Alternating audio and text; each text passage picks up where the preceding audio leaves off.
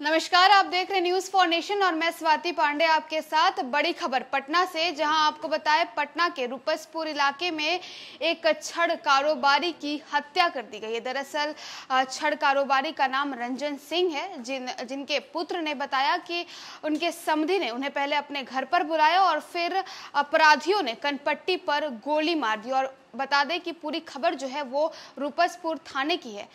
इस इस खबर में और भी क्या कुछ अपडेट है, हम बताते हैं। पटना के रूपसपुर थाना इलाके में एक कारोबारी की हत्या कर दी गई। बता दें कि गुरुवार को विजयनगर कॉलोनी में अपराधियों ने छड़ सीमेंट विक्रेता रंजन सिंह की सिर पर गोली मारकर हत्या कर दी। मृतक मृतक का बैच मृतक रुकनपुरा के आदर्श कॉलोनी के रहने वाले थे। घटना के बाद सिटी एसपी पश्चिम राजेश दानापुर एसपी अभिनव धीमान दलबल के साथ घटना स्थल पर पहुँचे और जाँच में जुट गए। बता दें कि मृतक का पुत्र मुन्ना ने बताया कि प्रत्येक दिन की तरह पिताजी गुरुवार को मॉर्निंग वॉक पर निकले थे।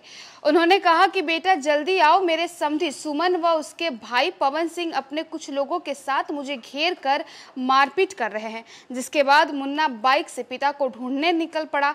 कई बार कॉल करने के बाद जब पिता ने फ़ोन नहीं उठाया, मुन्ना ने बताया कि थोड़ी देर बाद पुलिस का फ़ोन आया कि आपके पिताजी की उनके समधि अभ्यानंद सिन्हा उर्फ़ सुमन के घर के पास गोली मारकर हत्या कर दी गई है। मौके पर पहुँचने के बाद मुन्ना ने देखा कि उसकी मृतक बहन की ससुराल के मेन गेट पर पिता का खून के लथपथ सौ पड़ा हुआ था। मुन्ना ने बताया कि आठ माह पहले दिल्ली के गुड़गांव में उसकी बहन की उसके पति द्वारा हत्या कर सबको फंदे से लटकाकर खुदकुशी करने का शक्ल दिया गया था। बहन की हत्या के बाद उसके बहनोई के साथ ससुराल के सभी लोगों पर हत्या की प्राथमिकी दर्ज कराई गई है। इस मामले में गुड़गांव पुलिस आरोपित दामाद को गिरफ़्तार कर जेल भेज दी है।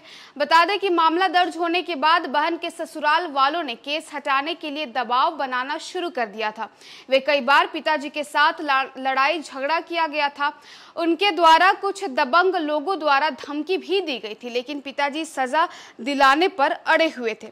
हत्या की सूचना पर दल बल के साथ पहुँचे सिटी एसपी पश्चिम राजेश। दानापुर एएसपी अभिनव धीमान ने छानबीन करते हुए बताया कि घटना के पीछे आपसी विवाद है। मृतक रंजन सिंह के पुत्री के साथ अभ्यानंद सिन्हा के पुत्र की शादी हुई थी, मगर गुड़गांव में पुत्री की हत्या के जुर्म में आरोपित का पुत्र अभी जेल में कैद है। उन्होंने बताया कि इन्हीं सब मामलों को लेकर अभ्यानंद द्वारा समझी रंजन सिंह को घर पर बुलाया गया और गोली मारकर उनकी हत्या कर दी गई। उन्होंने बताया कि रंजन सिंह को गो, दो गोली मारी गई जो उनके सिर पर लगी है। वारदात के बाद सभी आरोपित फरार है। घर व आसपास लगे सीसीटीवी फुटेज को खंगाला जा रहा है। फ़िलहाल सब का पोस्टमार्टम कराकर अंतिम संस्कार के लिए परिजनों को सौंप दिया गया है। बाकी आरोपित की गिरफ्तारी के लिए छापेमारी की जा रही है। बताया जा रहा है कि वारदात अब सीसीटीवी में कैद हो गया है। तो देखिए, खबर पटना के रूपसपुर थाना इलाके की, जहाँ एक छड़ कारोबारी रंजन सिंह की हत्या की खबर है। बता दें कि उनके समधि द्वारा उनकी हत्या करवाई गई और जिसकी जानकारी उनके पुत्र यानी सुमन ने दी। अब इस पूरे मामले में पुलिस छानबीन कर रही है और आरोपितों को पकड़ने के बाद जो कुछ भी अपडेट सामने आएगी, उसके साथ हम हाजिर होंगे। फ़िलहाल हमें इजाज़त।